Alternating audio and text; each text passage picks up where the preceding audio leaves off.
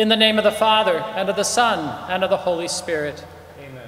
The grace and peace of our Lord Jesus Christ, the love of God, and the communion of the Holy Spirit be with you all. And with your spirit. My sisters and brothers, as we gather on this fifth Sunday of Lent, we hear in the Gospel of John today the miracle of Jesus raising Lazarus from the dead. It gives us all great comfort and consolation to know that all things are possible with God. We pause for a moment now to truly prepare our hearts to celebrate these wondrous and sacred mysteries as we call to mind our sins and ask the Lord now to fill us with His grace, His pardon, and peace.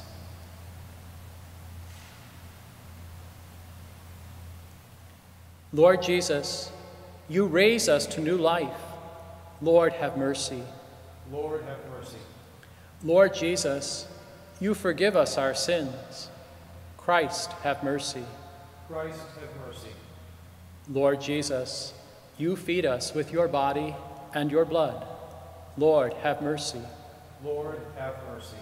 And may Almighty God have mercy on us, forgive us our sins, and bring us all to everlasting life. Amen. Let us pray.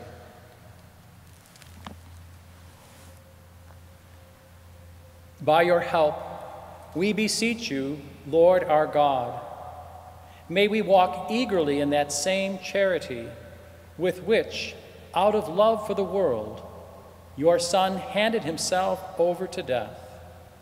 Through our Lord Jesus Christ, your Son, who lives and reigns with you in the unity of the Holy Spirit, one God forever and ever. Amen.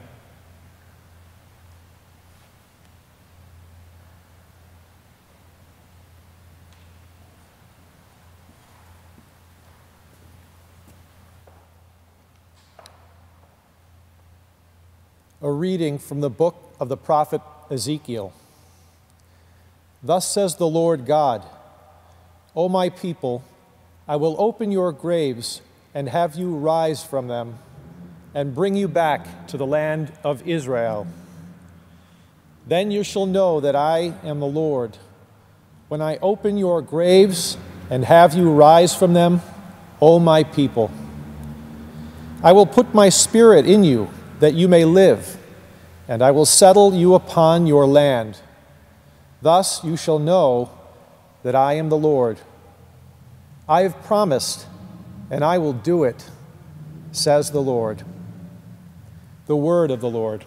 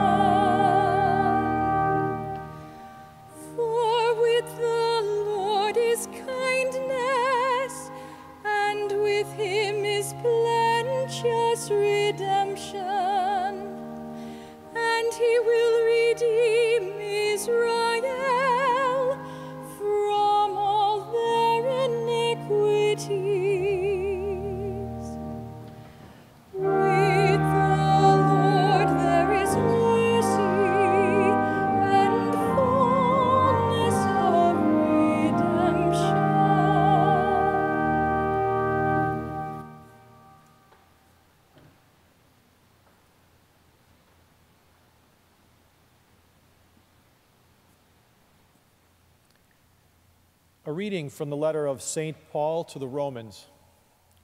Brothers and sisters, those who are in the flesh cannot please God, but you are not in the flesh. On the contrary, you are in the Spirit, if only the Spirit of God dwells in you. Whoever does not have the Spirit of Christ does not belong to him. But if Christ is in you, Although the body is dead because of sin, the spirit is alive because of righteousness.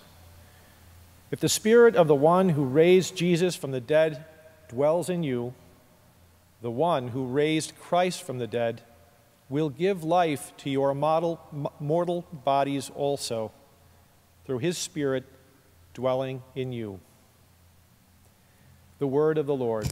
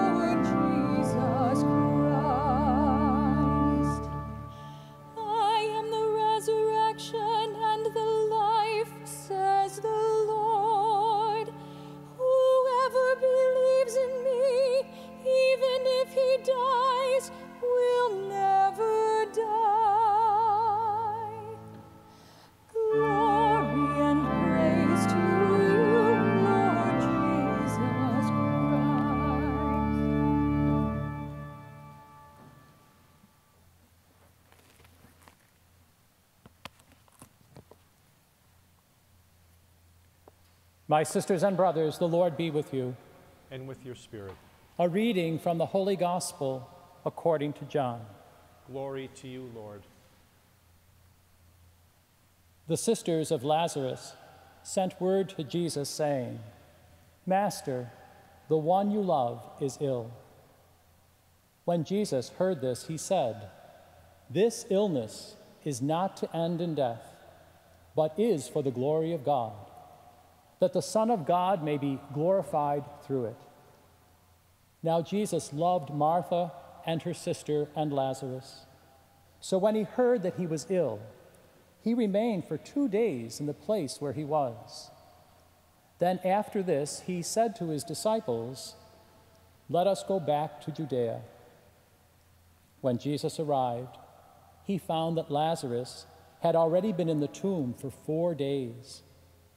When Martha heard that Jesus was coming, she went to meet him, but Mary sat at home. Martha said to Jesus, Lord, if you had been here, my brother would not have died. But even now I know that whatever you ask of God, God will give you. Jesus said to her, Your brother will rise. Martha said, I know he will rise in the resurrection on the last day. Jesus told her, I am the resurrection and the life. Whoever believes in me, even if he dies, shall live. And everyone who lives and believes in me will never die. Do you believe this? She said to him, Yes, Lord. I have come to believe that you are the Christ, the Son of God, the one who is coming into the world. He became perturbed and deeply troubled and said, Where have you laid him? They said to him, Sir, come and see. And Jesus wept. So the Jews said, See how he loved him. But some of them said, Could not the one who opened the eyes of the blind man have done something so this man would not have died? So Jesus, perturbed again, came to the tomb. It was a cave, and a stone lay across it. Jesus said, Take away the stone. Martha, the dead man's sister, said to him, Lord, by now there will be a stench. He has been dead for four days. Jesus said to her, Did I not tell you that if you believe, you will see the glory of God? So they took away the stone, and Jesus raised his eyes and said, Father, I thank you for hearing me. I know that you always hear me. But because of the crowd here, I have said this, that they may believe that you sent me. And when he had said this, he cried out in a loud voice, Lazarus, come out. The dead man came out, tied hand and foot with burial bands, and his face was wrapped in a cloth. So Jesus said to them, Untie him and let him go. Now, many of the Jews who had come to Mary and seen what he had done began to believe in him. The Gospel of the Lord. Praise to you, Lord Jesus Christ.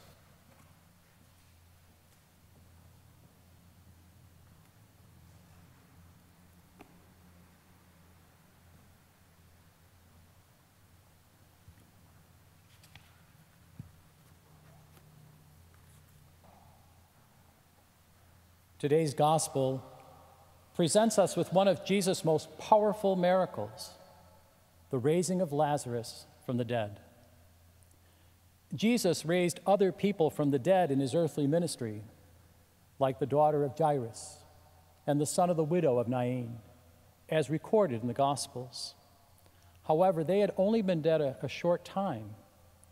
Lazarus, on the other hand, had been dead for four days and was already buried. We see nothing else like this in all the Gospels until Jesus himself is raised from the dead. Lazarus and his sisters Martha and Mary were among Jesus' closest friends. They lived in Bethany, just a few hours' walk from Jerusalem. Many times we are told that Jesus would stay at their house and have dinner with them. It is clear throughout today's reading that Jesus loved them dearly. So when Lazarus falls ill, Martha and Mary have word sent to Jesus. They had a great deal of faith and hope in Jesus and were sure that he would come and heal their brother. We can imagine Martha and Mary sitting by the bedside of Lazarus, reassuring him that Jesus was on his way and everything would be all right. However, Jesus fails to appear. They wait and wait but it is not until Lazarus has already been dead for four days that Jesus comes to Bethany. And by then, it all seems too late. We can almost hear the hurt and disappointment in Martha's voice when she says, Lord, if you had only had been here, my brother would never have died. Martha echoes the if onlys that we often say to ourselves in this life. If only I were not sick.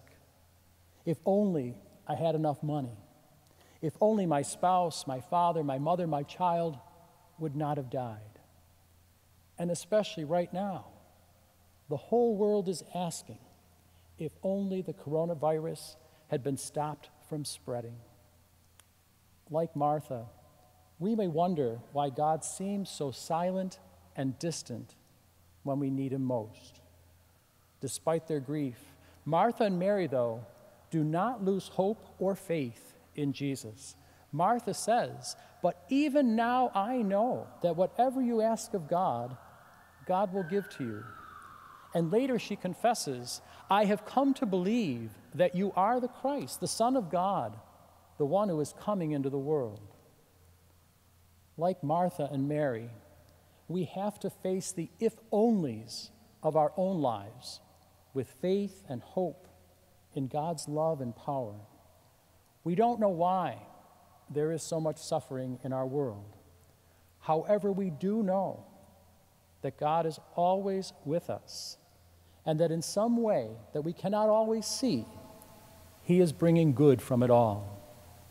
Just look at all the people right now who continue to put their lives on the line to make sure that we have what we need to provide for our safety, our good health, and our well being. In this life, we only see part of the picture. All we are called to do is each day to pick up our cross and follow Jesus, trusting that God has everything under control. That does not mean that we are destined to a life of drudgery and pain. Not at all. Because Jesus says it so clearly today if you believe, you will see the glory of God. God wants to do great things through us, especially through our weakness and our suffering. Consider today's gospel. Jesus could have gone quickly to Lazarus' bedside and cured him. That would have been a great miracle, and no doubt many people would have come to believe in Jesus because of it. However, by waiting with faith and trust, Martha and Mary witnessed an even greater miracle the raising of their brother from the dead.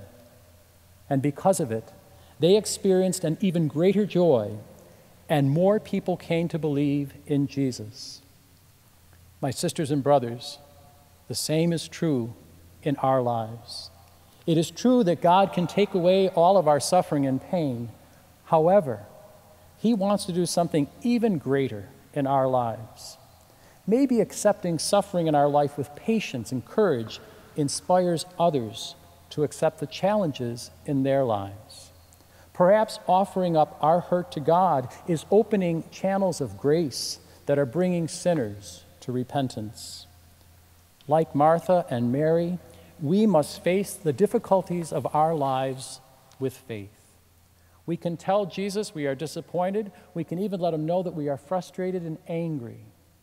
But we must always, always affirm our hope that God will never, ever let us down. We see this play out in the life of Jesus himself. Next Sunday is Palm Sunday. We will read the narrative of Jesus' passion when from the cross he cries out, My God, my God, why have you forsaken me? At the moment of his crucifixion, Jesus seemed defeated. His enemies seem to have triumphed.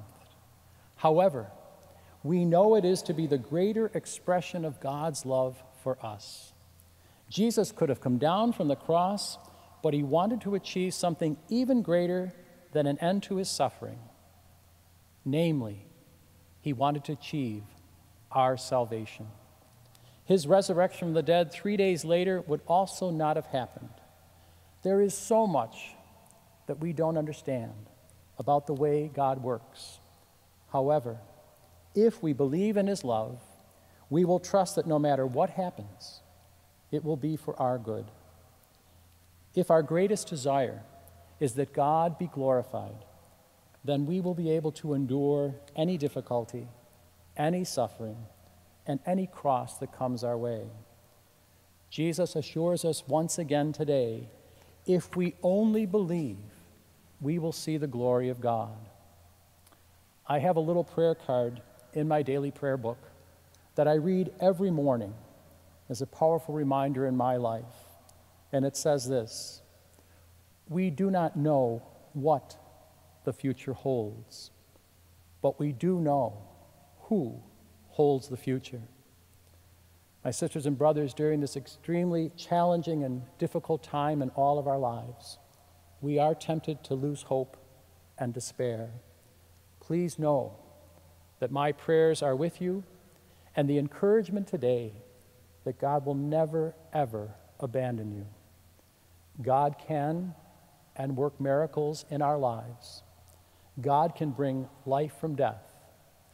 We just have to stay strong and believe. Amen. In the name of the Father, and of the Son, and of the Holy Spirit.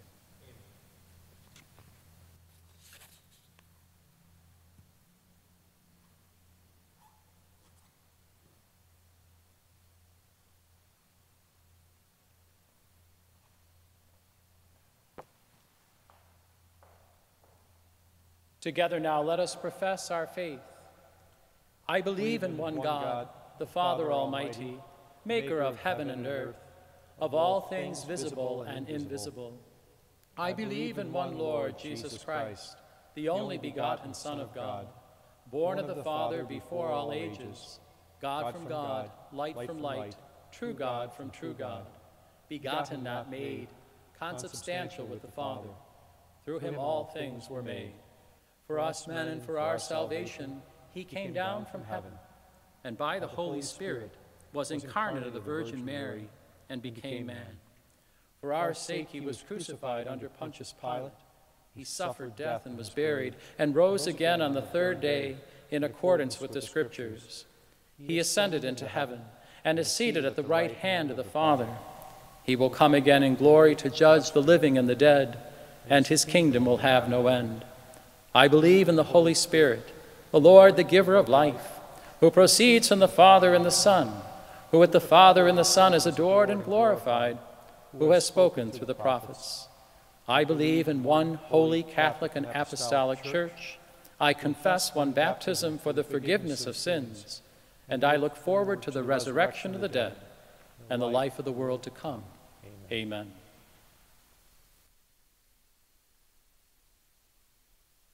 My sisters and brothers, trusting in the life giving power of the Spirit, we now lift up our prayers and our petitions to our Father in heaven. That all leaders and members of the church may be graced with the guidance and wisdom of the Holy Spirit, let us pray to the Lord. Lord, hear our prayer. That world leaders may be helped by God in putting aside selfish agendas and seek justice and the well being of all people under their care. Let us pray to the Lord. Lord, hear our prayer. That those who are in mourning may be consoled by God in their grief and made confident in the hope of resurrection for their loved ones. Let us pray to the Lord. Lord, hear our prayer. For scientists, healthcare professionals, public officials, and all who are serving the common good in this difficult and uncertain time, that they will be filled with wisdom and understanding. Let us pray to the Lord. Lord, hear our prayer. For all who are struggling at this time, especially those who are sick and in need of healing, may our compassionate God touch all affected by the current outbreak with healing and peace. Let us pray to the Lord. Lord, hear our prayer. That our beloved dead and all those who have died may know the joy and fullness of life in heaven. Let us pray to the Lord. Lord, hear our prayer. For all of our living and deceased parishioners and benefactors for whom this Eucharist is being offered, let us pray to the Lord. Lord, hear our prayer. O merciful God, with humble confidence now, we ask you to hear these prayers that we have spoken out loud and those that we hold in the silence of our hearts, that they may be according to your holy will, through Christ our Lord, who lives and reigns forever and ever. Amen.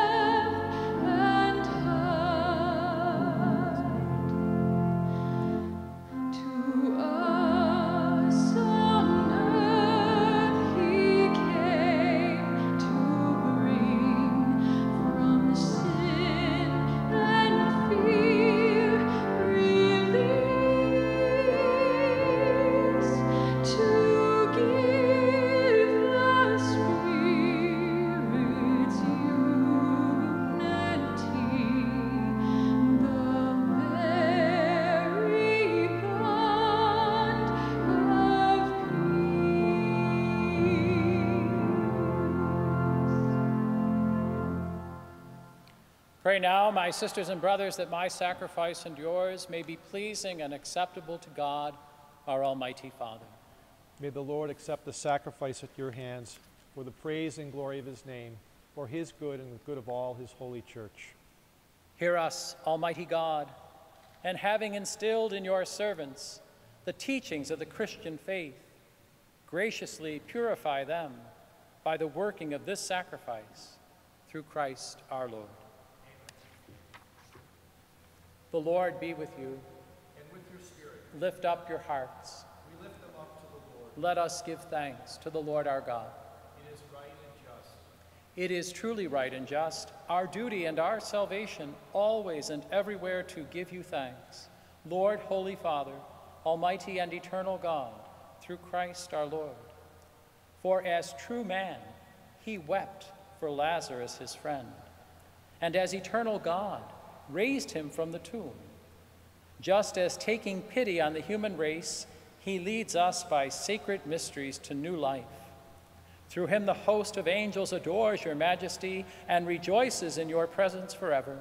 May our voices, we pray, join with theirs in one chorus of exultant praise as we acclaim.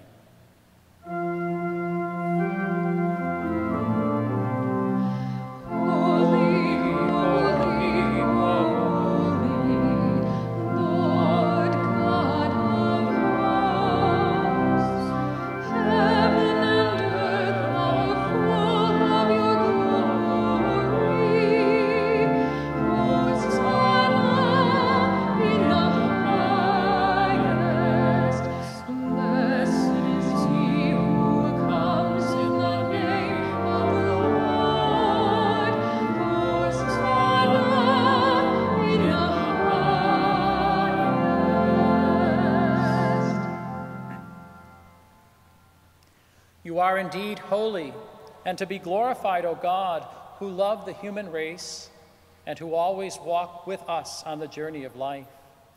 Blessed indeed is your Son, present in our midst, when we are gathered by his love. And when, as once for the disciples, so now for us, he opens the scriptures and breaks the bread.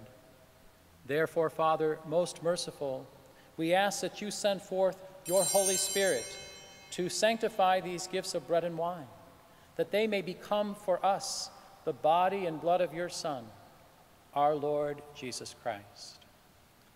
On the day before he was to suffer, on the night of the Last Supper, he took bread and giving thanks, broke it and gave it to his disciples, saying, Take this, all of you, and eat of it, for this is my body, which will be given up for you.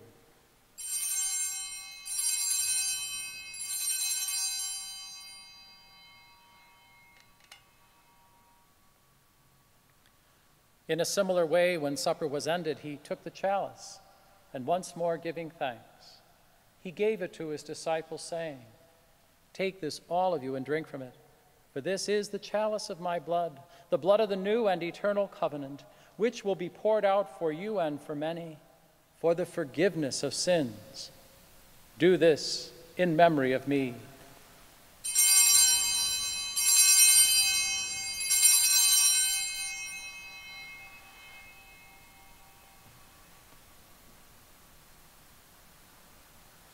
The mystery of faith. We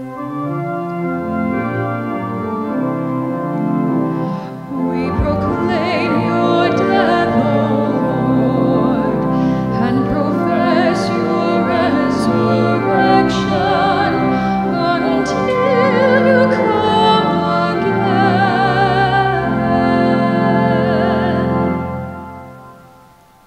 Therefore, Holy Father, as we celebrate the memorial of Christ, your Son, our Savior, whom you led through his passion and death on the cross to the glory of the resurrection, and whom you have seated at your right hand, we proclaim the work of your love until he comes again, and we offer you the bread of life and the chalice of blessing. Look with favor on the oblation of your church, in which we show forth the paschal sacrifice of Christ that has been handed on to us, and grant that by the power of the Spirit of your love, we may be counted now and until the day of eternity among the members of your Son, in whose body and blood we have communion. Bring your church, O Lord, to perfect faith and charity, together with Francis, our Pope, the order of bishops, the priests, deacons, consecrated religious, and the entire people you have made your own. Open our eyes to the needs of our brothers and sisters. Inspire us in words and actions to comfort those who labor and are burdened. Make us serve them truly after the example of Christ and at his command.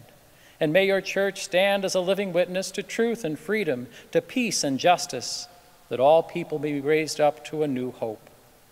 Remember our brothers and sisters who have fallen asleep in the peace of your Christ, and all the dead whose faith you alone have known.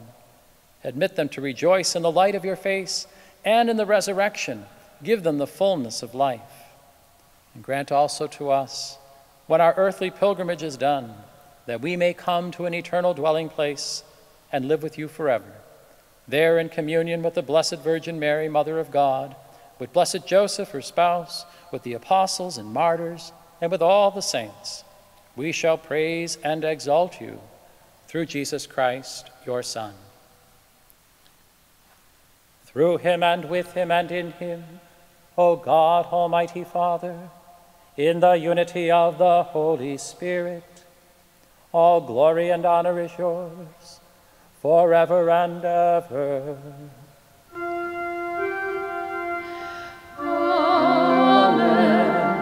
At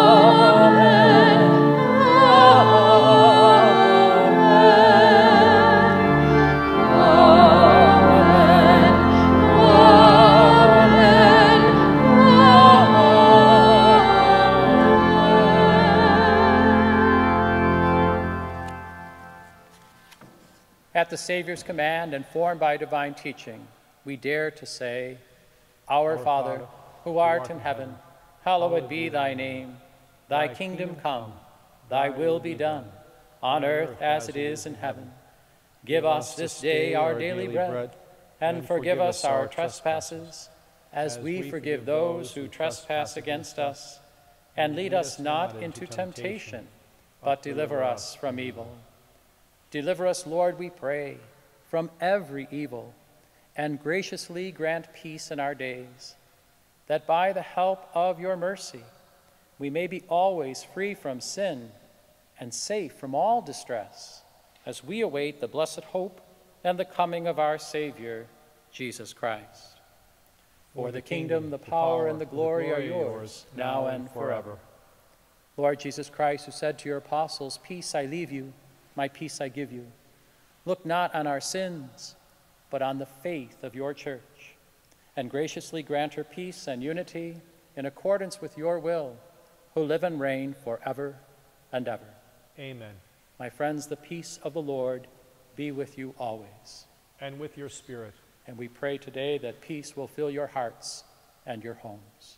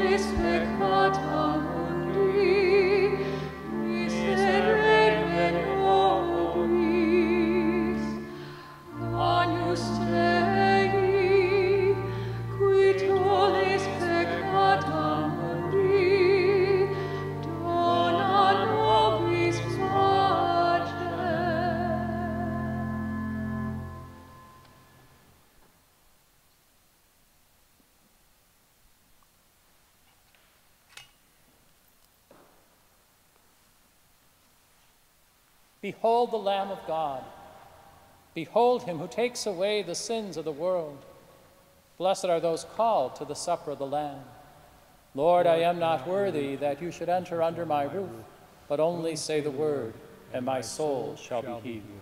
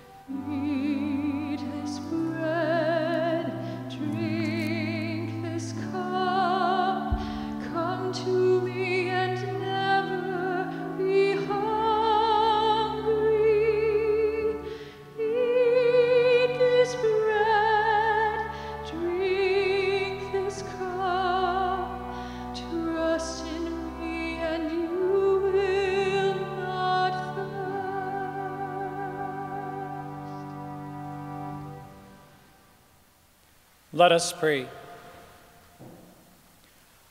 We pray, Almighty God, that we may always be counted among the members of Christ, in whose body and blood we have communion, who lives and reigns forever and ever. Amen. And our prayer now for Father Baker's canonization. Lord, you gave us your servant, Nelson Baker, as an example of service to the poor, homeless, and young. By Father Baker's ardent concern for those in need, inflame our hearts and lives with compassion for the poor, justice for the oppressed, hope for the troubled, and courage to those in doubt. We pray through the intercession of Our Lady of Victory, if it be your will, that your servant, Nelson Baker, may one day be canonized. Amen. Glory be to the Father, and to the Son, and to the Holy Spirit, as it was in the beginning, is now, and ever shall be, world without end. Amen. Glory be to the Father, and to the Son, and to the Holy Spirit, As it was in the beginning, is now, and ever shall be, world without end. Amen. Glory be to the Father, and to the Son, and to the Holy Spirit, as it was in the beginning, is now, and ever shall be, world without end. Amen. Our Lady of Victory, pray for us.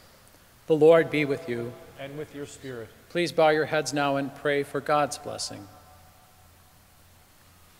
Bless, O Lord, your people who long for the gift of your mercy, and grant that what at your prompting they desire, they may receive by your generous gift through Christ our Lord. And may Almighty God bless you, the Father, and the Son, and the Holy Spirit. Amen. Go now in peace to glorify the Lord by your life. Thanks be to God.